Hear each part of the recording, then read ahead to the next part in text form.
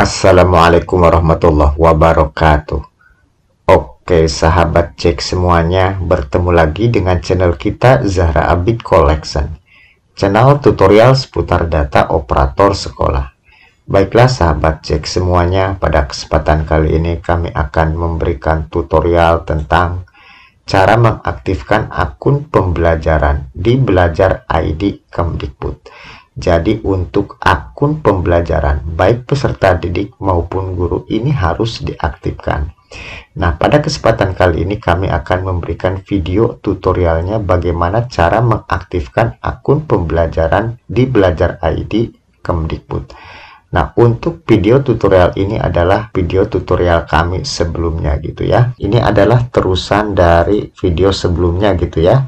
Video sebelumnya itu adalah cara download atau unduh akun belajar ID di PD Data Kemdikbud. Jadi ini adalah terusannya karena harus diaktifkan untuk akun pembelajarannya. Nah, kebetulan kami sebelumnya itu sudah mendownload akun pembelajaran untuk guru dan peserta didik. Nah, untuk kali ini yang akan diaktifkan adalah untuk akun pembelajaran guru di sekolah kami, begitu ya.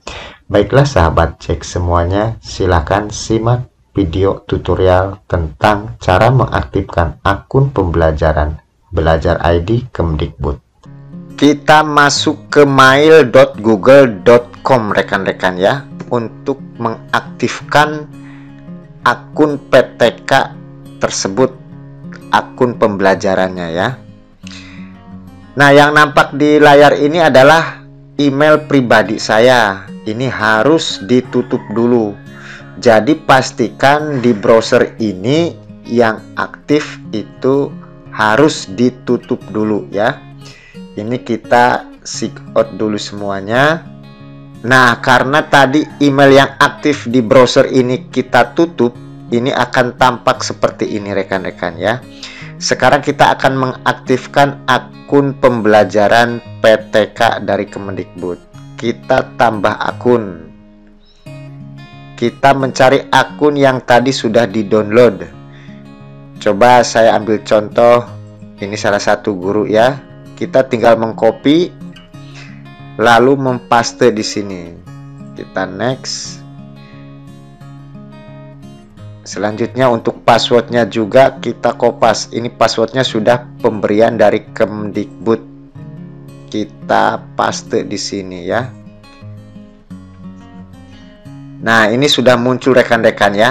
Ini saatnya kita akan mengaktifkan akun PTK guru tersebut ya.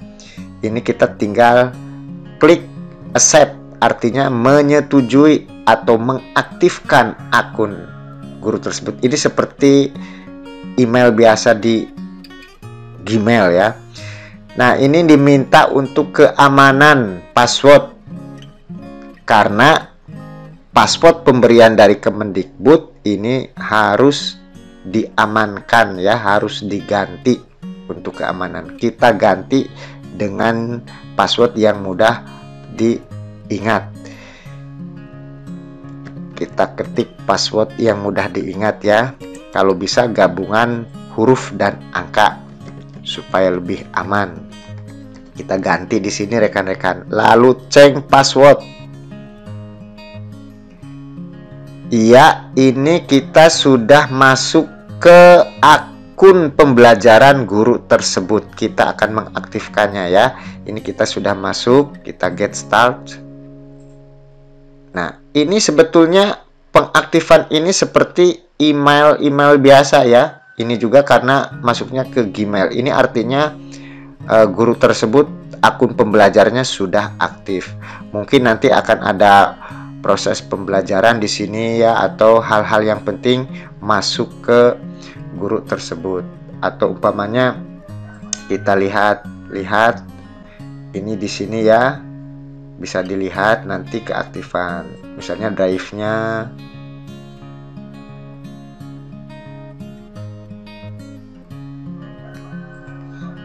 Ya ini kita bisa melihat-lihat Ya, ini jadi sekali lagi email PTK guru tersebut sudah aktif ya, akun pembelajarannya sudah aktif. Baiklah sahabat cek semuanya itu saja yang perlu kami sampaikan pada kesempatan kali ini video tutorial tentang cara mengaktifkan akun pembelajaran di Belajar ID Kemdikbud. Mudah-mudahan apa yang kami sampaikan bisa bermanfaat buat semuanya. Terima kasih yang sudah like dan subscribe di channel kami. Kami tunggu yang belum silahkan di like, di subscribe serta aktifkan notifikasi loncengnya supaya bisa mengikuti terus informasi dari channel kami. Serta bisa di-share kalau memang informasi yang kami berikan ini bisa bermanfaat. Terima kasih atas perhatiannya. Wassalamualaikum warahmatullahi wabarakatuh